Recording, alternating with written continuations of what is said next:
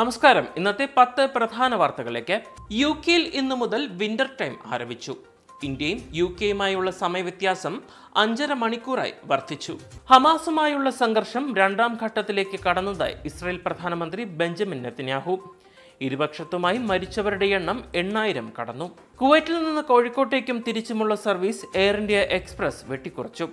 November മാസത്തിൽ മാത്രമാണ് service നിർത്തലാക്കുന്നത് എന്ന് എയർ ഇന്ത്യ വ്യക്തമാക്കി. യു എസ് പ്രസിഡന്റ് തെരഞ്ഞെടുപ്പിൽ നിന്നും മൈക്ക് പെൻസ് പിന്മാറി. ജനപ്രീതി കുറഞ്ഞതോടെയാണ് പെൻസിന്റെ ഈ പിന്മാറ്റം. ഫ്രണ്ട്സ് എന്ന ലോക പ്രശസ്ത സീരീസിലൂടെ ആരാധകരെ സൃഷ്ടിച്ച ഹോളിവുഡ് താരം മാത്യു പെറി അന്തരിച്ചു. ആയിരത്തി തൊള്ളായിരത്തി തൊണ്ണൂറ്റി നാല് മുതൽ പത്ത് വർഷം നീണ്ടുനിന്ന സീരീസിന്റെ റീയൂണിയനിലാണ് മാത്യു പെറി അവസാനമായി പങ്കെടുത്തത്. പശ്ചിമേഷ്യൻ സംഘർഷത്തിൽ ഇന്ത്യ ഇസ്രയേലിനൊപ്പം തന്നെയെന്ന് കേന്ദ്ര സർക്കാർ. ഹമാസിനെതിരായ നിലപാടിൽ ഉറച്ചു നിൽക്കുന്നുവെന്നും കേന്ദ്ര സർക്കാർ വൃത്തങ്ങൾ പറഞ്ഞു.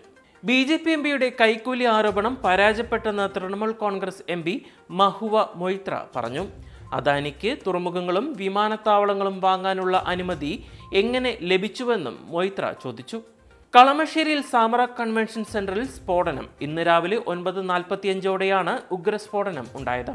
പ്രമുഖ ആർ എസ് എസ് നേതാവ് ആർ ഹരി അന്തരിച്ചു. വാർദ്ധക്യ സഹജമായ അസുഖങ്ങളെ തുടർന്ന് കൊച്ചിയിലായിരുന്നു അദ്ദേഹത്തിന്റെ അന്ത്യം.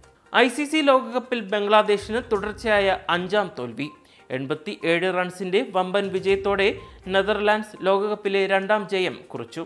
ഇന്നത്തെ പത്ത് പ്രധാന വാർത്തകളാണ് നിങ്ങൾ ഇതുവരെ കേട്ടത്. കൂടുതൽ വാർത്തകൾക്കും വിശദ വിവരങ്ങൾക്കുമായി Anand T V U K channel subscribe ചെയ്യുക. കൂടാതെ ആനന്ദ് ടി വി ചാനലിന്റെ മൊബൈൽ ആപ്ലിക്കേഷൻ ഡൗൺലോഡ് ചെയ്ത് സൗജന്യമായി ആസ്വദിക്കുക.